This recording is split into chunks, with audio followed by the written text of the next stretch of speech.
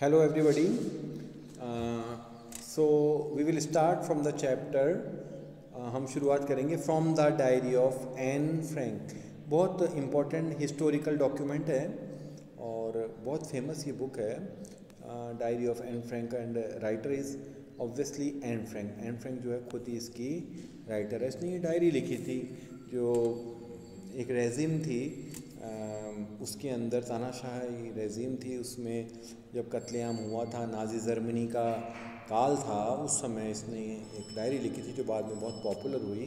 तो इन्होंने खैर उससे रेलेवेंट ना करके कुछ दूसरी तरह की जो उसकी क्लास इवेंट्स थी, उसकी लाइफ इवेंट्स थी, उसके बारे में बताया है, ठीक है? तो ये जूश गर्ल थी Anne Frank was a Jewish girl remember it और ये जर्मन ऑक्यूपेशन थी वर्ल्ड वार सेकेंड में, ठीक है? उसमें 1942 hidden room of her father तो ये 1942 में अपने फादर के साथ में वहाँ छुपी हुई थी। देखो the important thing is that that is asked also the diary was given to Anne Frank for thirteenth birthday जब उसका थर्टींथ बर्थडे था, तब उसको डायरी दी गई और उसने डायरी लिखनी शुरू की। जो बाद में एक हिस्टोरिक डॉक्यूमेंट बनी। तो ये इसके बारे में है और ऑब्वियसली इसका राइटर जो है डायरी ऑफ़ एन फ्रैंक तो एन फ्रैंक इसकी राइटर है। Okay so now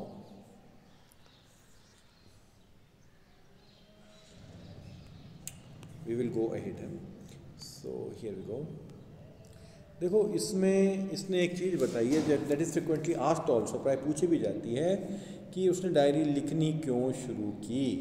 so so, here देखो आप यहाँ देखो I have never written anything before but also because it seems to me that on I on neither I nor anyone else will be interested in the music of a thirteen year old school girl so ये सिर्फ़ thirteen year की थी पूछा भी जाता है बार बार। ठीक है? तो म्यूज़िक होता है चिंतन वो सोचती थी, मैं अगर डायरी लिखूँगी भी तो एक थर्टीन ईयर की जो तेरह साल की बच्ची है, उसके क्या कोई, उसको कोई, उसके चिंतन को कोई सोचेगा, सुनेगा? एक चीज़ और है, इसमें paper has more patience than people so ये भी क्वेश्चन काम आता है बार बार कि डायरी क्योंकि हम किसी को कह दें कोई बात सो वो किसी और को कह सकता है, लेकिन जो पेपर है, कागज़ है डायरी है, वो किसी को भी नहीं कहेगी। सो इसने ये सोचा कि मैं डायरी लिखूँगी। ठीक है? और अब ये कह रही है, इसकी सिक्सटीन ईयर ओल्ड सिस्टर थी और मम्मी पापा भी बड़े लविंग थे। So it was not the reason कि भाई वो अकेली थी, ऐसा रीज़न नहीं था। लेकिन हर बात अपने पेरेंट्स को नहीं कही जा सकती, इसलिए इसने डायरी लिखना शुरू किया। And here we go except my one true friend I can't uh, bring myself to talk about ordinary everyday things just now things unfortunately mm, I have started the diary so देखो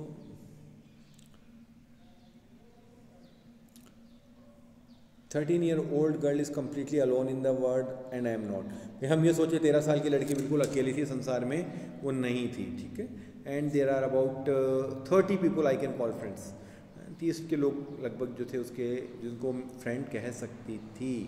ठीक है? We don't seem to be able to get any closer than that's the problem maybe it's my fault that we don't confide in each other in any case that's just how things are unfortunately they are not liable to change this is why I have started the diary देखो, ये जो इसके relatives थे, कहती it was my fault they were loving but मैं अपने मन की बात उनको नहीं कह पाती थी, इसलिए मैंने डायरी लिखना शुरू किया. ये क्वेश्चन भी बहुत बार पूछा जाता है, उसने डायरी लिखना क्यों शुरू किया? No she was not alone वो अकेले नहीं थी, वो उसके she has a sixteen year old sister loving parents and at least thirty people which she could consider as friend लेकिन वो she was little bit introvert in the sense that she could not express herself with other people. वो अपने आप को अभिव्यक्त नहीं कर पाती थी दूसरे लोगों से। सो so, ये एक कारण था कि उसने डायरी लिखना शुरू किया। So that was the reason okay और now sometimes they ask also I want the diary to be my friend and I am going to call this friend Kitty so अब मल्टीपल चॉइस क्वेश्चन भी आपके twelve आएँगे। तो they can ask in that also so Kitty उसने अपनी diary का नाम क्या रखा? किटी दैट्स इंपॉर्टेंट के I double T Y Kitty so what was the name of Anne diary उसकी डायरी का नाम क्या था? दैट वाज किटी उसने उसका नाम किटी रखा एक पर्सनलाइजेशन देने के लिए, एक पर्सनल टच देने के लिए, ठीक है? अच्छा अब देखो, इसके बाद में थोड़ी सी उसकी फैमिली हिस्ट्री बताई। उसकी सिस्टर मार्गोट थी, है ना? उसके बारे में बताया। एंड देन उसकी जो ग्रैंड माँ थी 1941 में वो सिक हो गई इल हो गई और 1942 में उनकी डेथ हो गई। और वो उनको बहुत याद करती थी। ये क्वेश्चन जो पूछा जाता है कई बार कि grandma's candle was lit along with the rest है ना? उसका जब बर्थडे था, तब उसने ग्रैंड माँ की याद में एक कैंडल भी जलाई थी। ठीक है? ये क्वेश्चन एग्जामिनेशन में कई बार पूछा जाता है। एन फ्रेंक की बहन का नाम आ गया मार्गोट आ गया। पेरेंट्स थे उसके और उसने अपनी डायरी का क्या नाम रखा? किट्टी उसकी एज कितनी थी? थर्टीन ईयर्स जब उसने डायरी लिखनी शुरू की। अब now she has a unique style of writing diary उसका एक जो तरीका था स्टाइल बड़ा यूनिक था अनूठा था। सो so, देखो हियर वी गो वो स्टार्ट करती है डियरेस्ट किटी किटी किस से एड्रेस करके चीज़ों को लिखती है। तो ये कह रही है अवर एंटायर कुछ इसने एपिसोड्स बताए हैं डायरी को डायरी में अपने जीवन के। तो उसमें ये था कि ये सारे रिज़ल्ट के हमारे डरते होते हैं सारे बच्चे इस तरह की कुछ बातें कही हैं।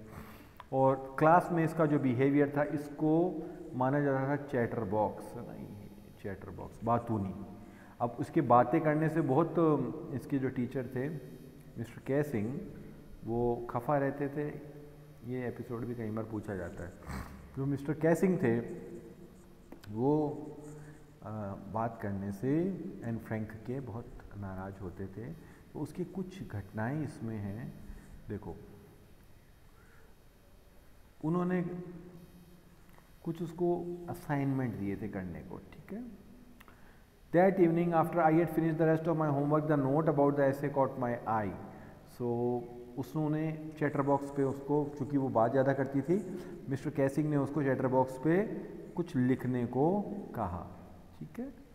So anyone could ramble on the tape of my fountain pen anyone could कुछ भी, कोई कुछ भी लिख सकता था, पर जो मेन इसकी बात है उसने कहा I wrote three pages Mister Keesing and assign me and was satisfied are I argued that talking is a student's trait and that I would do my best to keep it under control so ये question भी बहुत बार आ जाता है कि chatter box पर लिखा तो उसने क्या लिखा था एन फ्रेंक ने? So talking is a student's trait जो गुण है, ट्रेट होता है गुण। टॉकिंग बात करना एन फ्रैंक के हिसाब से एक विद्यार्थी का गुण है, लेकिन फिर भी उसने ये कहा था कि मैं इसको अंडर कंट्रोल रखने की कोशिश करूँगी। That I would never be able to cure myself of the habit since my mother talk as much as I did if not more than that there is not much you can do about inherited trait अब उसने कहा I will try to control it but I cannot cure it मैं control में करने की तो कोशिश करूँगी, पर मैं इसको ठीक नहीं कर सकती हूँ, क्योंकि ये जेनेटिकली है, मुझे मिला है और उसकी मम्मी भी बहुत बात करती हैं। अब मिस्टर केसिंग जो थे, वो भी क्लास में बड़े इस बात पे हंसे, जो चैटर बॉक्स का टॉपिक था, है ना? अब दिस नेक्स्ट लेसन ये assign me a second essay this time it was suppose to be an incorrigible chatterbox ये दूसरा था। इनकॉरिजिबल मतलब जो ठीक ना हो सके। ऐसा बातू नहीं आदमी इसका कोई इलाज नहीं है। अब now I handed it in and Mister Keesing had nothing to complain about for two whole lessons और as talking it class write an essay and title quack quack quack said Mister Mister chatterbox ठीक है? The class roared I had to laugh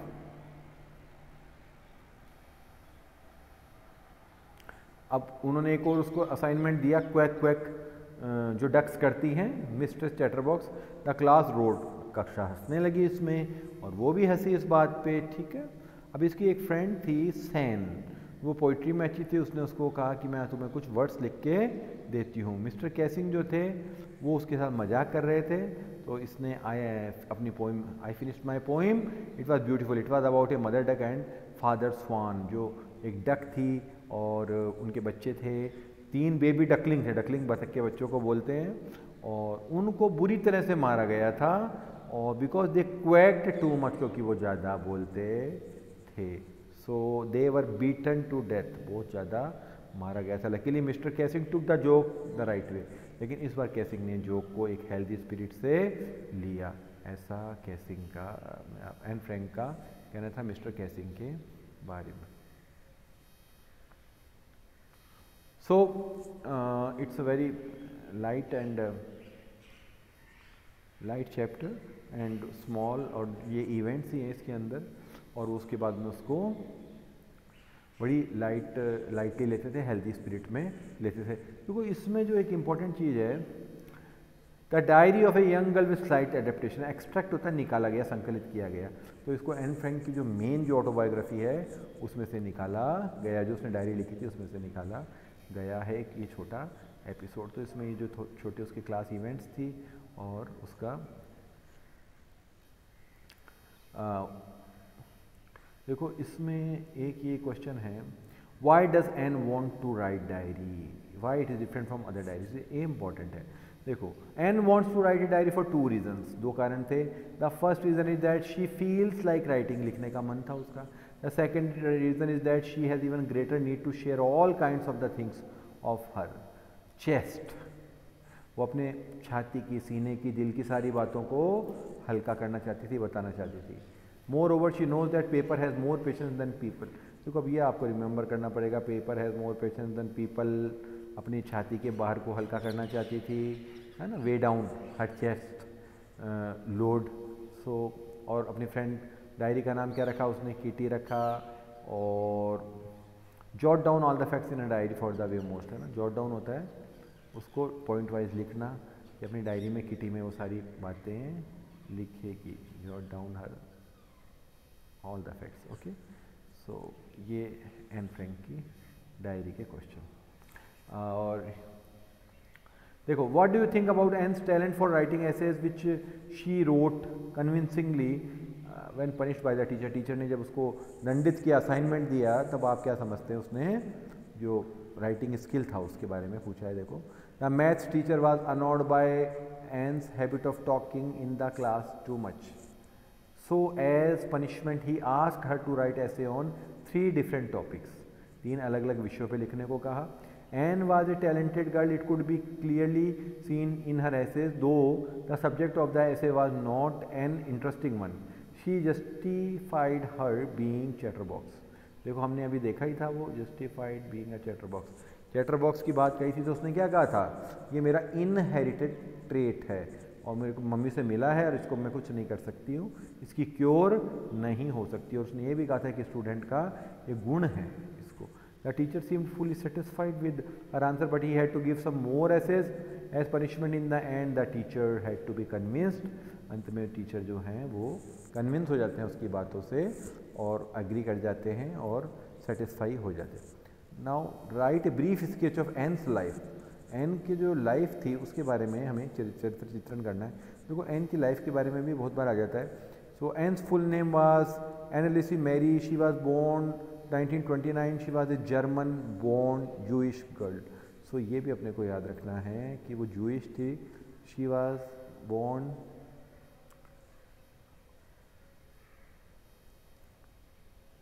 German Jewish girl German born Jewish girl ये remember करना है। Jewish लोगों के साथ ही अत्याचार हुआ था। She wrote her diary while she has hiding in Amsterdam during second world war जो सेकेंड वर्ल्ड वार थी, तब उसने अपनी डायरी को लिखा था। She was an intelligent girl during her schooling she showed good sense of humour when Mister Keesing was annoyed with her Anne was also skilled in writing for unfortunately and died of typhus in 1945 1945 में तो उसकी death हो जाती है इनकी but her father found her diary and got it published we are able to know about and thoughts about her diary तो उसकी तो जल्दी डेथ हो जाती है, लेकिन उसके फादर को बाद में वो डायरी मिलती है, वो पब्लिश होती है, और वो बिकने का एक बड़ा रिकॉर्ड बनाती है. सो एन फ्रैंक का ये स्मॉल चैप्टर है, और इसमें हमें मेन मेन चीज़ें हमने याद कर ही ली है, इसमें देख लिया है. एन फ्रैंक की जो इवेंट्स थी क्लासेस की, वो याद रखनी है उसकी फैमिली हिस्ट्री को याद रखना है मिस्टर कैसिंग के साथ उसके जो दो चैटर बॉक्स का एपिसोड था और क्वैक क्वैक डकलिंग्स वो वाला एपिसोड था, इनको याद रखना इनमें से क्वेश्चन बनते हैं। देखिए, अब एक पोइम है आपकी next how to tell wild animals मतलब ये है कि हम जंगली जानवर को कैसे पहचानें। ये फ़नी पार्ट है, हंसाने के लिए दिया गया है, और थोड़ी पहचान करने के लिए एनिमल्स की।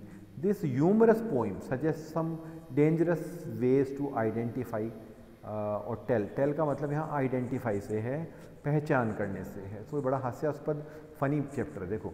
तो इसमें देखो, अगर every should go by by chance to jungles in the east अगर हमें पहचानना है, किसको पहचानना है? लॉइन को। पहला लॉइन यानी तो लार्ज एंड टोनी बीस्ट ये अपने को याद रखना है। लार्ज एंड टोनी बीस्ट भूरा, पीला और बड़ा आकार का तो कौन होता है? लॉइन होता है। इसके बाद आता है टाइगर। टाइगर का है ब्लैक स्ट्राइप्स। बंगाल टाइगर जो अपने यहाँ होता है, काली काली धारियाँ उसमें पाई जाती हैं। और इसके बाद में आता है लेपर्ड, थेंदुआ। तो उसमें क्या है? उसकी जो कैरेक्टरिस्टिक्स हैं, वो हैं उसके धब्बे, है ना? काली मिर्च के जो धब्बे होते हैं स्पॉट्स इज़ पेपर काले मिर्च जैसे काले धब्बे पाए जाते हैं, वो लेपर्ड होता है। तो क्वेश्चन पहचान के बहुत बार आ जाते हैं कि जो पोइट है, वो कैसे उसको पहचानता है। अब देखो इसमें बियर है। अब बियर का जो इन्होंने बताया है कि वो हक करता है, गले लगा लेता है वेरी हार्ड बहुत ज़ोर से। तो अगर कोई ज़ोर से गले लगाता है टाइटली करेस करेस और एक वर्ड आया है। करेस का मतलब होता है दुलार करना दुलारता है प्यार करता है। तो वो कौन है? कैसे पहचानेंगे वो? अगर करेस करता है तो आपके मल्टीपल चॉइस में आ सकता है वैसे भी आ सकता है। करेस करने वाला कौन है? बियर है। देखो इसके बाद में है कि हाइना लकड़ भग्गा जिसको बोलते हैं वो। तो आ, हाइना जो होता है वो मेरी स्माइल्स हंसता हुआ दिखाई उसके दांतों का आकार ऐसा होता है कि वो हंसता हुआ आपको मेरी स्माइल्स दिखाई देता है। ये हाइना का बहुत ज़्यादा पूछा जाता है बार बार कि हाइना की आप पहचान कैसे करोगे कि वो मेरी स्माइल्स से, है ना? Hyena is identified with merry smiles और दूसरा है क्रोकोडाइल हम क्रोकोडाइल को कैसे पहचानेंगे?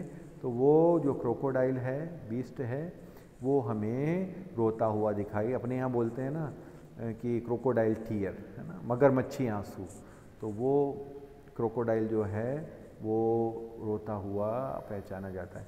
तो इसमें डिफरेंस आता है बहुत बार, हाइना और क्रोकोडाइल का डिफरेंस बताओ। तो यही है, एक तो रोता रहता है और दूसरे की क्या है? मैरी स्माइल है। अब देखो लास्ट जो है इसमें द ट्रू कैमिलियन जो गिरगिट है small lizard sort of thing है ना छोटी चिपकली है। अब इसमें है कि जो ये केमिलियन है is there is nothing on the tree अगर आपको कुछ भी नहीं दिखाई देता तो वो क्या है? वो केमिलियन है, गिरगिट। क्योंकि जैसा हम जानते हैं, गिरगिट क्या करता है? अपने रंग बदल लेता है। तो ऐसा क्वेश्चन अगर पूछा जाए तो आपको पेड़ पे if you cannot see anything on the tree so that means there may be a chameleon एक गिरगिट वहाँ हो सकता ठीक है बच्चों, अब इसके बाद में इसके क्वेश्चन देखो how can you identify the Asian lion हम एशियन लॉइन को कैसे पहचानेंगे? तो अभी हमने देखा था लार्ज एंड टॉनी बीस्ट ठीक है? पूरा पीले रंग का बड़ा सा जानवर अगर दिखाई देता है हमको so we should be sure that it is Asian lion ठीक है? और इसमें जो हमने अभी जितने एनिमल्स देखे हैं, ये इंपॉर्टेंट है, इनका डिफ्रेंशिएट करना। तो जैसे हमने भी क्रोकोडाइल का देखा है है ना? वो इम्पोर्टेंट है। और लॉइन का है बंगाल टाइगर का है हाइना का हाइना का स्पेशली याद रखना मैरी स्माइल्स हाइना है ना? आपको जो मुस्कुराता हुआ दिखता है Mary smiles is hyena hyena का तो बहुत बार देते हैं ये, उसको तो अच्छे से आपको याद रखना है। तो ठीक है बच्चों आज के लिए and thanks for watching me